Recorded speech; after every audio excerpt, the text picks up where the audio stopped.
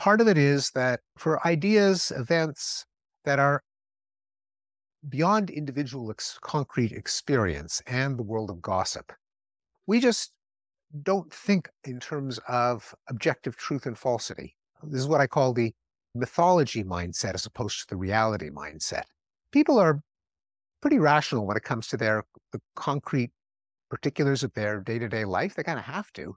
Is there enough gas in the car to take me where I want to go? Are they is there enough food in the fridge? Do I have enough money to to pay the rent? There are people by and large don't have wacky beliefs. They can't afford to, and it's easy to stay in touch with reality. But often in the realm of the, the vaccines, the QAnon, the, the, the protocols of the elders of Zion, where historically you just couldn't know what goes on in the corridors of power or at the microscopic scale of disease causation or the cosmic scale of the origin of the universe.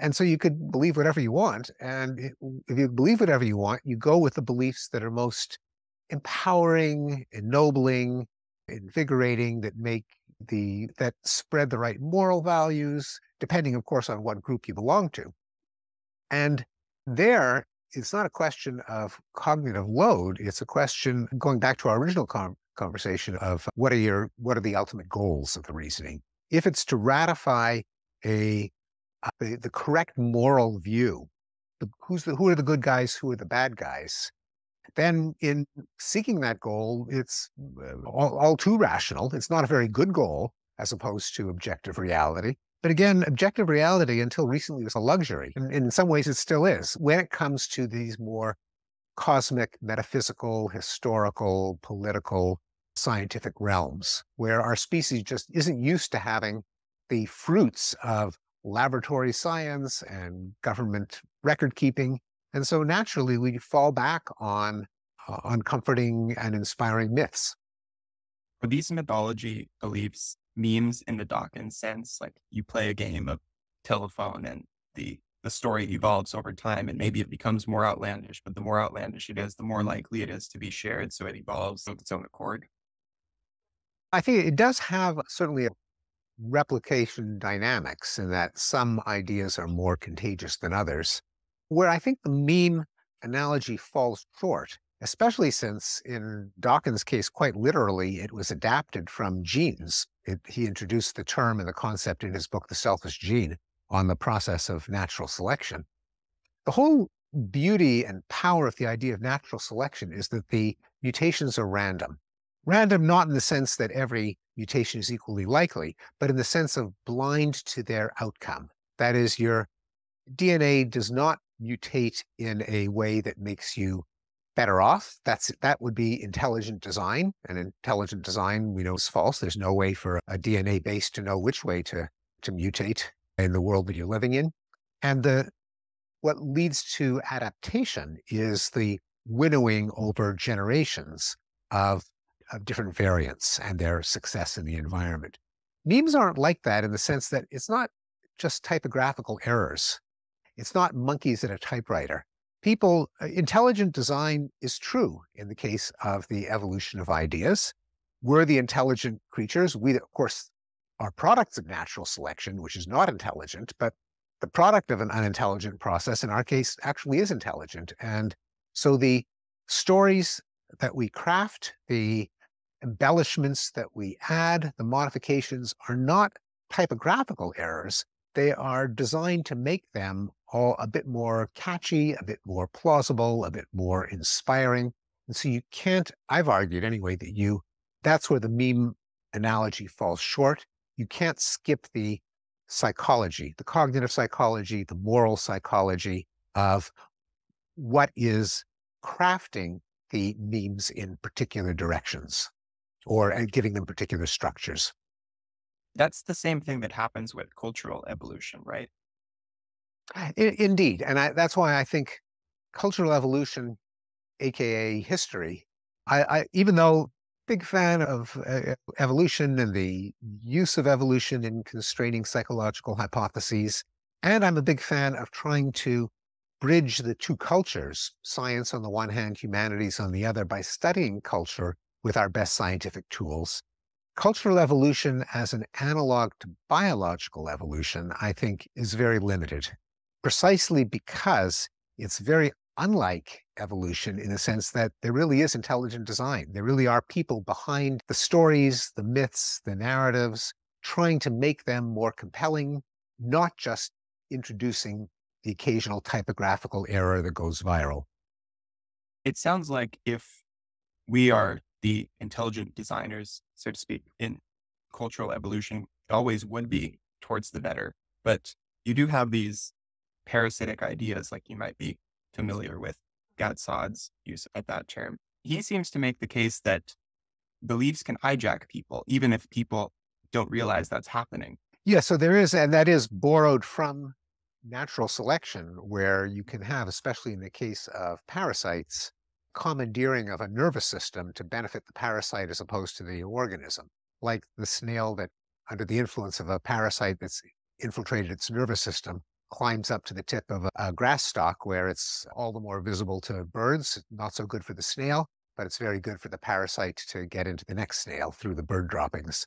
So, is there an analogy where ideas can? I, I think that is possible, and that's been invoked in, say, cases of, say, suicide terrorism, where the maybe it's the idea that spreads by example to the detriment of the suicide terrorist who spreads the idea by virtue of his gory death that gets picked up by all the papers. I think it's possible, and it may be in the case of conspiracy theories, that there is a kind of cultural evolution for the good of the meme as opposed to the good of the person, in the sense that conspiratorial beliefs are part of a family of belief that are designed to be unfalsifiable. So the fact that the conspiracy is not obvious, what do you mean this bureaucrat doesn't look like a, a, cannibal? Oh, that's proof of what a diabolical conspiracy it is. That's how well they hide it. And there are other families of beliefs like that, such as especially ones that immunize themselves from criticism. If you doubt that all racial differences are due to racism, that's um, proof that you're a racist that kind of means that an awful lot of people are going to attribute all racial differences to racism out of fear of becoming a racist. And so they being called a racist anyway. And so it's another example of a self perpetuating idea. Or yet another one is God, it sure doesn't look like the universe is designed by a benevolent God. God works in, in, mysterious ways and he doesn't want you to know his design. And we humans are too feeble to figure out how God works. So again, it's an idea that might have some persistence and longevity precisely because by its very content, it resists falsification. So I do, I would acknowledge that there, that memetics in the sense of the inherent copying, spreadability, resistance to extinction of ideas can play a role in the spread of those very ideas. The difference is that in addition to that, there is an awful lot of brain power, including the urges to demonize enemies, to appeal to the way other people's minds work. So, how did the pedophiles in QAnon become cannibalistic pedophiles? You don't get from pedophile to cannibal by by by by, flipping a, a letter by a typo. It's you can tell there is someone thinking, what is the worst, most heinous, most vile accusation I could make? I'm going to throw that onto the pile. And that'll make it all the people on my side who, you know, hate Hillary Clinton, hate the left, hate the Democrats, they'll gobble this up like catnip if I add that detail. So you need to account for an awful lot of, as I put it, design, intelligent toward the narrow goal of attracting adherents, not so intelligent in terms of the greater societal goal of spreading true beliefs. In that case, would it be better if we become better scientists and statisticians and logicians in our lay beliefs and learn to spot these fallacies? Or is it more like those are tools only for problems of objectivity and it would be better to just identify mythology mindsets when we see them and then leave them alone, as opposed to here's why the pedophile ring couldn't have been set up in this location because someone had an alibi or whatever. You probably don't want to get rid of that belief with logic. You probably just want to identify it as a conspiracy belief and move on with your life. It's a good question. How do you, uh, what is the, just practically the most effective way to debunk outlandish beliefs? And going back to the idea of these pernicious ideas as parasites, there, there's an idea, the philosopher Andy Norman has publicized this, that we need a kind of vaccine or immunology, cognitive equivalent of immunology, training people, maybe even kids in school, to recognize the hallmarks of nutball conspiracy theories and to have them even distinguish between plausible and crazy beliefs as a kind of exercise to kind of strengthen the cognitive immune system. So that is one way, sharing the ways in which, to the extent that we feel we do have objective beliefs, how do we, what in, in, entitles us to say that? And it's things like empirical testability, free speech, freedom of inquiry, openness to criticism, fact checking, communities of peer reviewers, all of that kind of gadgetry of truth, or of at least seeking the truth, because we never know when we have it. People knew that the extent that we can get true beliefs, like putting someone on the moon or inventing smartphones, it's thanks to those social arrangements. That may be a kind of, of mental immunity, people thinking just because I read it on Twitter, that shouldn't be enough to make me believe that it's true but on top and a more widespread applicability of the canons of reason to all questions in life. This is the watchword of the rationality community. The people who try to encourage, even fetishize rationality in, in, in personal and social and political and educational contexts. More, more Bayesian reasoning, more statistical decision theory, more avoidance of logical and uh, critical fallacies. But on, and I'm in favor of all those things. But another crucial ingredient that I think has been neglected is we do, you and including you and me and everyone we know, we accept a lot of scientific findings just because we trust the scientists, partly because you and I are, there are people. And so we know how they work. And we know that if they came out with some bad idea, chances are someone else would expose it and criticize them for it. But by and large, we just trust that the, the climate scientists got the climate science right and the immunologists got the vaccines right, because none of us can really, honestly, or most of us anyway, certainly me, don't grasp the science deeply enough that we can actually reconstruct it.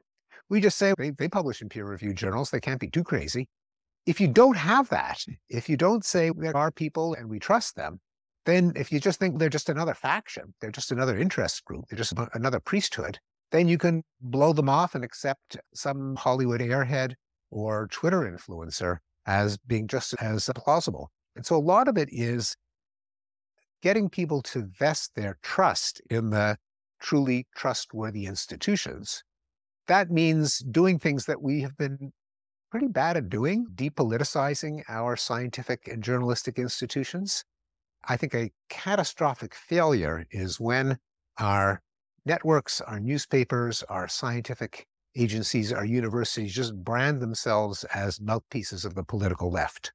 Even if you uh, yourself are with the political left, if that's just all of the branding, the coloring, the messaging, then people in the center right are just going to blow you off. And we don't want that. We want people to get vaccinated, which means trusting the immunologists and the public health officials, which means that they've got to earn that trust by proving their case and not being seen as just cheerleaders for a particular ideology.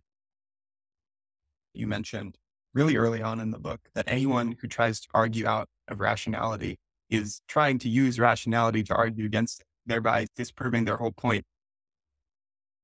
Yes, it's a, an argument that I adapted from the philosopher Thomas Nagel, although he's probably not the first one to make it. But it's the it's the ultimate reason why relativism, postmodernism, subjectivity, mysticism, irrationality can't can't be right, must be rejected. And the reason is that as soon as you make an argument for why any of them is compelling, why we ought to believe them, then you are appealing to reason and rationality and truth and objectivity. If someone says every, everything is subjective, you can say, is that statement subjective? If it is, you can believe it, but I don't have to. Is everything a social construction? What about the claim that everything is a social construction? If that's a social construction and I'm not part of that social community, then I can blow it off. If you want to convince me, then you've got to frame it in terms that we both accept, namely the canons of reason and rationality and objectivity. So it's a peculiar kind of argument, say what philosophers call a transcendental argument, that it uh, kind of appeals to the very conditions that make the discussion possible in the first place, which are never stated and in a sense can't be stated because you couldn't even state them or interpret them unless you already subscribed to the notion that we should we ought to be rational. Nonetheless it is uh, i think inescapable